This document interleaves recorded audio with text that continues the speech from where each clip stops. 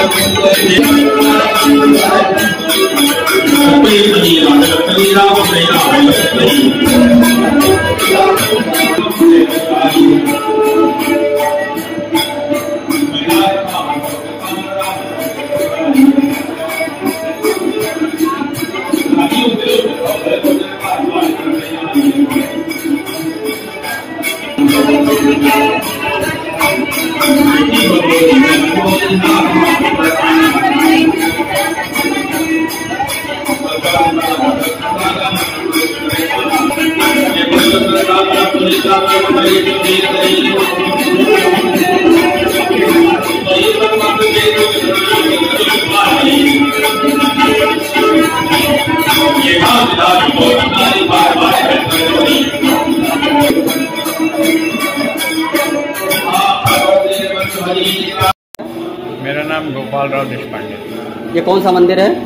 ये श्री कालेराम मंदिर है। ये आपके यहाँ मनमास महोत्सव जो चल रहा है ये किस किस उपलक्ष्य में है ये? ये अधिक मास पुरुषोत्तम अधिक पुरुषोत्तम मास या अधिक मास इस वर्ष ज्येष्ठ का पड़ा है। तो अधिक मास में प्रत्येक तीसरे वर्ष ये अधिक मास पड़ता है। और हमारे यहाँ जब भी अधिक मास जिस महीने में भी पड़ता है उस महीने में ये महोत्सव मनाया जाता है। ये कब से कब तक आपके यहाँ आयोजन चलेगा ये ये हमारा आयोजन तीन जून से प्रारंभ हुआ है और 12 जून तक चलेगा। इसमें क्या बाहर से भी लोग आ रहे हैं? हाँ बाहर से व्यास जी बाहर से आए हुए हैं जो कथा लाभ कराते हैं। भक्तों को इसके अलावा कुछ गायक कलाकार भी आए हुए हैं बाहर से वाराणसी इत्यादि से आए हुए हैं। और स्थानीय संत भक्त महंत ये सब लोग इसमें प्रेम पूर्वक श्रद्धा पूर्वक स्वयं सम्मिलित हुए हैं। उन सबका समवेत प्रयास है ये महोत्सव हमारा। राज्य में आपसे ये जानना चाह रहे थे कि अयोध्या में एक काले राम मंदिर के नाम से मंदिर जाना जाता है। क्या इसकी क्या विशेषता है? काले राम मंदिर हमारे यहाँ की जो प्रतिमाएँ हैं ये अत्यंत प्राचीन प्रतिमाएँ हैं और ये पहले श्री राम जन्मभूमि पर विक्रमादित्य के द्वारा स्थापित थी।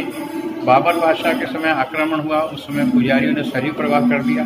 220 वर्ष ठाकुर जी नदी में थे। उसके बाद महाराष्ट्र के एक ब्राह्मण हुए नरसिम्हा जी। उनको भगवान का स्वप्न में दर्शन और आदेश हुआ। दूसरे दिन स्नान करने के लिए वो लक्ष्मण घाट पर गए। वहाँ पर उनको ठाकुर जी दिव्य विग्रह प्राप्त हुआ। मूर्तियाँ प्राप्त होते समय इनके मुख से शब्द निकला काले राम जी प्राप्त हुए। इसलिए काले राम जी नाम से विख्यात हो गए। वैसे इनका नाम विष्णु हरि है। अयोध्या में सप्तहरि हैं, विष्णु हरि, धर्महरि, चक्रहरि बिलहरि गुप्तहरि।